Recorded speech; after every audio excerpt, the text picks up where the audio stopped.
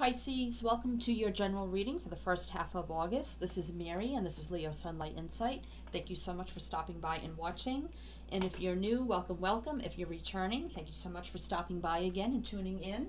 And if you're new, please do check the description box below. Any and all information that you need is down there, tons of stuff. So please do go check that out. Would be greatly appreciated. All kind of links and everything you need to know. So thank you so much. And before we get started here, just a quick shout out to all my new subscribers. Thank you, thank you. To those who have reached out for personal readings, thank you so much. And those who have blessed me with an energy exchange, such as a tip or donation to the channel, is very much appreciated. So thank you so much. Thank you, thank you. And thank you everyone for your support. It is truly, truly appreciated. Could not do it without you guys, and I truly love to do this for you. So thank you, thank you, thank you. Okay, for Pisces. Hope everybody's doing well. August already. Can you believe it? August already. Where is time going? I don't know. So, Pisces. What's going on with Pisces? General reading, first half of August. This is a zodiac oracle, so we could get a sign, element, or planet energy that may be affecting you in some way, shape, or form for the first half of August. Whatever comes out here, if it doesn't resonate for you, that is totally fine. This is sort of just a little extra bonus and the rest of the reading may um, resonate for you in some way, so please keep that in mind.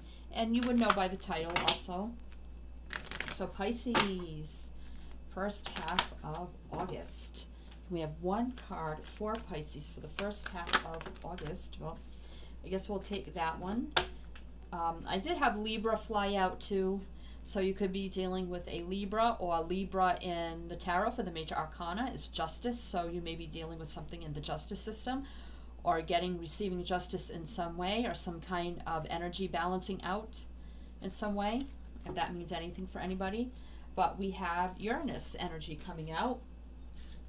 And Uranus energy is Aquarius, but it doesn't have to be. So uh, if you have an Aquarius around you in some way, or maybe you have Aquarius in your chart, uh, could be your moon sign.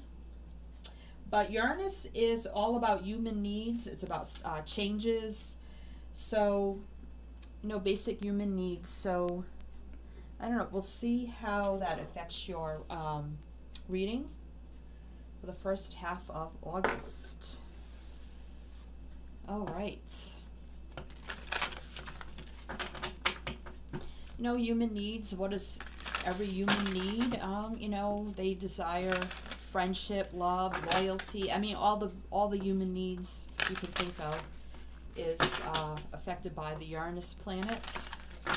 All right. So let's see. With this deck here, we will get your main message, what's going on with you. All the decks are listed below if you are interested in that also. They all have been pre-shuffled, cut, meditated on off camera. There is a little more shuffling on camera, so please be patient with that. So one card for Pisces. What's going on with Pisces? I think that's your card. First half of August. Wow, and you have the moon here, which is Cancer Pisces energy. So we have leap. You go first, the universe will catch you. So this is telling you you're in that energy of wanting to take a leap of faith, wanting a new start, starting out fresh jumping right in and going for it. And not to worry, the universe has your back. The universe has a divine plan for you. And not to worry, you will be fine. You go first, and they will catch you and guide you on your divine path here. And maybe you know that with the moon energy here is very, um, moon energy is very um, intuitive energy. And with Uranus, it's all about changes. So maybe you're going through a change, a big change in your life right now, and you're taking this big, huge leap of faith into something new, a whole new life, perhaps. And maybe you're a little scared and nervous, but you know, this is telling you you will be fine. And let's see what's on the bottom of the deck here. Share your voice, come out of the cave, persecution, expression. So, um, share your voice. So if you've been kind of like in hermit mode here, it's I think it's telling you to, uh, you know, get out. You know, take that leap of faith. Get out into the world. Um, you know, go out, have some fun. Go, uh, Spend time with friends and family. Go out and live life. And, you know, express yourself. Maybe talking to people, you know, friends, family, getting advice, uh, things like that. All right, so let's see. Maybe you're afraid if you're going through this big, big change right now that you're afraid to talk about it because maybe you feel like people will persecute you for whatever change is going on in your life right now. But I think this is just telling you it's okay to get out there, express how you feel, express what you're going through, go out and live life. Spend spend time with friends and family. Tell them what's going on. Get some advice. You know, um, you know, get some weight off your shoulders if you're keeping it all inside.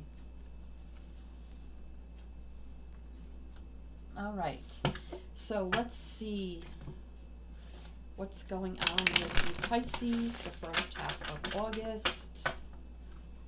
All right, first half of August. First half of August, what's going on with Pisces? What is this leap of faith? What is this share your voice? What is going on with Pisces? First half of August, please, Spirit. Thank you so much. Oh, there we go. And that one wants to stick too. Okay, so we have well, the Knight of Wands came out in reverse, and the Three of Swords here. So we have fire and air energy. Here's the air, Gemini, Libra, Aquarius, with the swords but it doesn't have to be that energy. So I definitely feel like here, and I had said with this card that maybe you're kind of in hermit mode and you're not really going out doing anything. And here's the Knight of Wands in reverse. The Knight of Wands, Knight of Wands upright, they go after what they want. They take that action and movement moving forward with passion, drive, and ambition. And they go after what they want with a lot of success and victory. But I feel like here in reverse, you know, not taking any action, not going out, not feeling any passion or vigor for life, kind of like just being in hermit mode and afraid to get out there and uh, start living your life again. Maybe, you know, whatever change you're going through here, you're, you're just really scared to talk about it. You're scared to um, express yourself, but you're yearning to take this leap of faith, but you're scared to get out into the world there. And it's telling you you go first and they got your back. So you can take this movement action forward feeling like you're stuck because over some kind of heartbreak. So whatever you've been through, there's been a lot of pain and um, heartache here. Whatever you've been through, that you're coming, you know, I feel like you're going through a big change because Uranus is all about change and coming out of heartbreak and sorrow, whatever it was for you but yet not taking a whole new leap of faith into life again because you're feeling scared, maybe having some fear of getting out back out into the world because of your situation. So let's see what your situation is. What other well let's see what other energy is around you. So we have death and two of pentacles exactly. So Scorpio energy here earth energy with the two of pentacles. So exactly i have felt here with the, the death and the three of swords. I mean you could be going through divorce because um, we did have the libra card show here which is the um, major arcana of justice. So you could be going through a very painful divorce here or something in the justice system. The ending of a situation here it's been hurtful and painful to go through here but out of this, you can transform and have a resurrection, a rebirth, and a whole new life. Because something ends, but there's always a whole new, brand new beginning. But you need to take that leap and get back out into the world and not be in hermit mode. And the Two of Pentacles here is, you know, juggling a lot around. Maybe you're juggling around uh, all these fears, anxieties in your head. You know, what are people going to think? You know, what uh, what are people going to say? How are they're going to react, you know, I think juggling around all this crap in your mind that you really don't need to worry about. Or you could have, you know, a lot of things going on for you right now and you're trying to balance out all that energy. All right, so let's see. Let's see what your actual situation is now. Okay, so we have the Ace of Wands. We have the Sun. Wow, we have the Knight of Swords. Wow. so you have this brand new passionate beginning here waiting for you, a whole new exciting adventure in the world just waiting for you, waiting for you to grasp a hold of it and and go with it. You know, there's a lot of excitement, drive, ambition, passion, a whole new world waiting for you. And here's the sun energy, Leo energy, fire energy, both these cards. So, I mean, you have success, happiness, victory here with the sun, a whole new world, enlightenment, growth, expansion, happy home and family, even if it's on your own with this brand new beginning. That energy is all there for you but you have the Knight of Swords energy, air energy here. So this is the Libra, Gemini, Aquarius. So, I mean, all the energy is here for you. I mean, this is like rushing in, taking action. You know, you may be in the process of cutting away things no longer serving you, as if you're going through a divorce or whatever it is for you. Standing up for yourself, not taking any BS, um, speaking with truth and clarity and uh, don't get in the energy, though, of um, just telling it like it is and being too blunt. Too blunt. That's not a good energy to be in. But, you know, this is fast action movement forward and just like, blah, rushing in and just like telling people off and causing trouble. Don't try not to get in that energy. Um, but maybe you are in that energy now, but you know, you can be happy again and have this brand new beginning in life. And I think there's a need here for you just to rush back into life again. Come out of hermit mode because you have all this waiting for you in the world. Wow. All right, Pisces. So let's see what your your advice is. The Eight of Wands and the Hanged Man. So Okay, here's your energy with the hangman, Cancer, Pisces energy, and now we have fire energy with the Eight of Wands. So your advice is, though, to take it slow. Um, you may all of a sudden feel that urge just to hurry up, rush, get out there, get out into the world, you know, talking to every single person, person you come into contact with. Um, this is a lot of action and movement and travel and uh, communication but it's saying you know if you get all of a sudden get into that energy of rushing ahead too fast as with the knight of swords energy here the hangman is telling you to take slow down take a little break you know take it a little, bit of a slower approach uh, think before you act before you move forward and just because um, you've got a slow energy with the hangman he doesn't even move he's totally still and then you have this very fast-paced action here so this is again with the two of pentacles of trying to juggle and balance of balancing out your energy. Just slow it down, tone it down, take it easy, take your time. You know, you may be rushing to leap right in, maybe finally deciding to come out of hermit mode, but just think about it and just like slow down a little bit and don't rush so fast. All right, so let's see what your outcome will be here. So we have the Six of Pentacles, Earth energy. Again, so this is nice. So this is balancing out your energy, equal give and take. So I think you will balance out your energies moving forward, taking this whole new leap of faith into life if you're just coming out of a divorce or something like that, maybe going out on your own. Um, you know, you may be in a hurry to, you know, you may might have been in hermit mode for a while, worried about what other people think, say, do whatever here, and then all of a sudden you have a big epiphany moment, like with the sun energy, that enlightenment of I just want to get out there into the world. I'm ready for my new life, and just want to rush right in really fast and grab every opportunity that you see.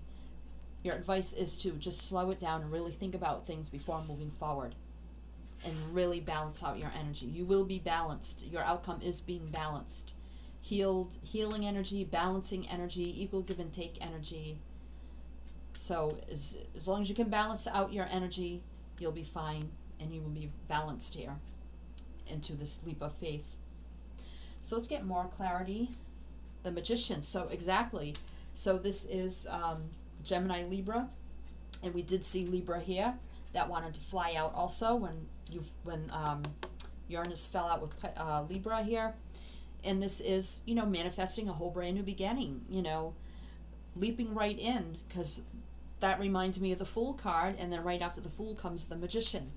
So manifesting your whole new beginning, your whole new world, your whole new life here. You know, using your truth and clarity, use, using your passion and drive and ambition, using your love and compassion, and using your stability and just manifesting forward to a whole new world, a whole new life. Two of Wands. So, you know, fire energy here, making decisions, making plans uh, for your future, what direction you're going in, what you're going to do now. So, making all those plans and decisions and moving forward in a whole new direction. Five of Swords. So, yeah, this is an energy of kind of like defeat, at all costs. You don't care how you get ahead. You don't care what you do. Be careful not to get in that energy, as with the Knight of Swords, of just um, getting ahead at all cost. Um, you don't really want to get into that energy, so be mindful of that energy, of being getting all you know too caught up into yourself and moving forward, and not realizing you may be hurting others or what have you.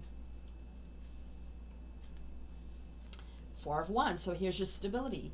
So here's your happy home life. Um, this usually is about two people in a marriage or commitment, ceremony celebrations. But I just feel like if you're going to be alone, or even if you're going all, you know, jumping right into a new relationship, here's the stability. Here is um, the happy home and family life, people coming together, being happy and stable and celebrating or you could just be celebrating with family, you know, having buying getting a new home or a new place and moving and celebrating with your friends and family on your new life. Star. So here's Aquarius energy as with Uranus. So here's your healing energy. Here's your wishes and your dreams coming true, having that faith, hope, and optimism for your future as you dive right in and take a leap of faith here in uh, again balancing out your energies and being divinely guided as the divine universe is saying here don't worry i have your back as you leap into your new life everything will be fine all right so let's see what's on the bottom of the deck the page of wands so this is uh, you may have offers coming into you maybe new endeavors new you know, friends saying, hey, let's go do this, let's go do that, maybe going on new adventures, um, feeling very excited and uh, having that zest for life again. And maybe, you know, going out with friends and going on those new adventures and endeavors and things like that and being very excited and happy and feel like you're growing and expanding in the process. Then we have judgment. So, you know, this could be you know, forgiving things of the past, whatever you've been through here, you know, making a final decision, a final judgment call. Um, sometimes can mean resurrection of the past or just forgiving all those um, things of the past that maybe you once had judged, had a lot of judgment on. Uh, just forgiving all that and uh, moving on. Forgiveness here. And then we have the Six of Swords. Again, I feel very, you know, air energy, leaving all the past baggage behind here. You've learned your lessons, you've had some struggles, you've gone through what you've gone through, you know what you can move forward with and what you can leave behind. So you're leaving behind what's no longer serving you. And you're moving in a more peaceful, balanced, healing direction. We have the Star, the Six of Pentacles, moving forward in a whole new direction strength. So this can be Leo, but now having that inner strength and confidence to get out there into the world, uh, being very bold and courageous and brave, and having all your willpower, strength, and desires to go and manifest what you want. Hermit, again, I had said that at the beginning with the Virgo energy with share your voices with being in a cave, being in a hermit mode for a while till you finally seen the light found your path, found your way, and realized I just need to jump into life here and take that leap on my own. Four of Pentacles energy. So, you know, this is holding on to your stability, holding on to what you have. If you going through a divorce or something like that, you know, getting what is yours, holding on to your stability, um, and that kind of thing. So, you know, being very stable here and grounded. There's the Wheel of Fortune. So Sagittarius energy, so things turning in your favor, fate, destiny on your side, better luck and timing. So yeah, the divine is saying things will work out in your favor. The wheel will turn in your favor. Things will be fine. Things will work out. Don't worry. Divine timing is here for you, and the universe has your back. And there we have the Fool energy with the leap. Starting over at zero, resetting, taking that leap of faith, jumping right in and not worrying. Wow. Yep. So jumping right in after you've been through a hermit energy of being scared, afraid, fear, um, and all that kind of thing, what others say, think, or do, uh, fear of getting back out there into the world on your own. I fe- feel like you, you heal from that, you overcome that fear, and now you're very excited, ambitious to just jump right in. But you need to balance out your energy and really think things through and not rush into anything too fast moving forward, and you'll be fine. All right, so let's see. Let's see Pisces for the first half of August. Let's get some extra advice, guidance for you for the first half of August for Pisces. Spirit, please. Thank you so much. What do you have for Pisces the first half of August?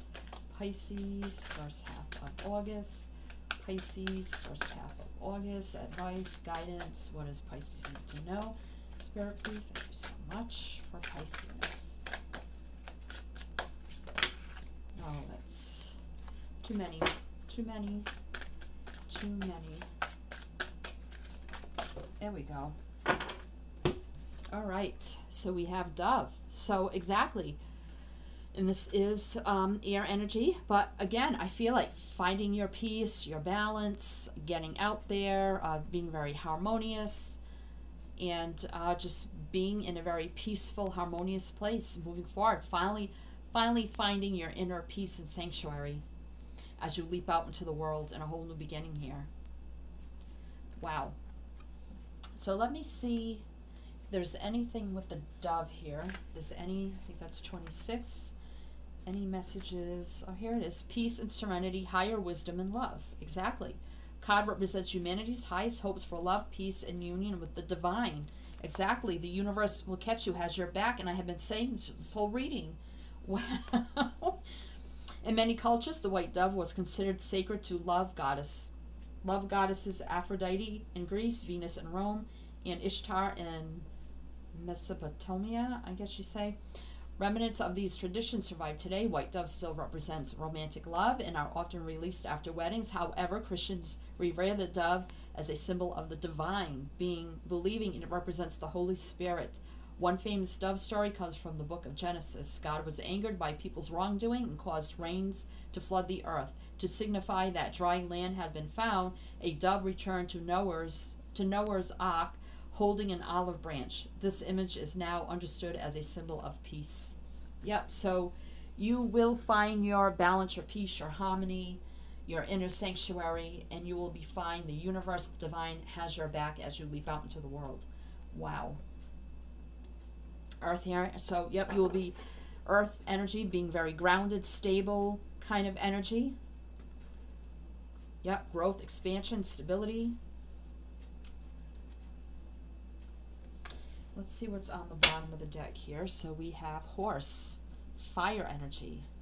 So again, I feel like with that, um, having all that energy, passion, desire to just jump out into the world and move forward very fast and fiercely here.